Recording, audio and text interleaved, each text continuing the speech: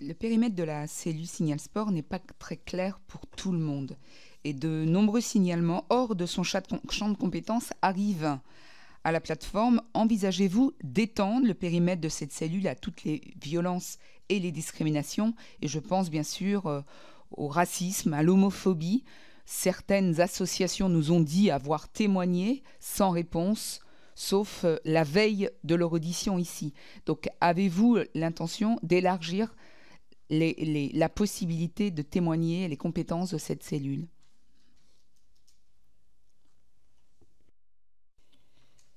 Je pense que ce qui est très important, c'est d'affirmer et de marteler ce que je vais appeler euh, avec vous le tout sauf. C'est quoi le tout sauf de Signal Sport? C'est que Signal Sport doit embarquer tout, sauf en matière de violence à caractère sexiste et sexuel, ce qui est du ressort des rapports entre particuliers, d'un licencié, d'un pratiquant à un autre, ou les rapports entre des sportifs, qui, eux, relèvent d'autres procédures judiciaires les unes, judiciaires et ou disciplinaires pour les autres. Ce champ-là, il faut absolument qu'il soit juste... parfaitement clair pour chacun des acteurs. Et l'obligation de signalement que j'évoquais tout à l'heure, qui peut être demain consacrée par la loi, nous permettra de rendre parfaitement clair cet élément. Et je complète par rapport à votre seconde question sur le sujet des discriminations.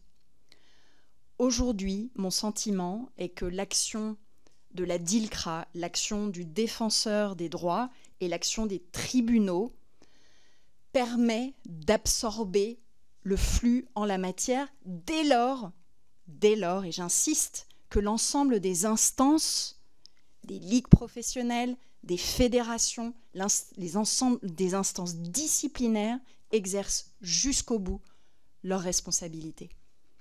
Nous avons renforcé notre arsenal juridique et législatif pour dénoncer ces discriminations.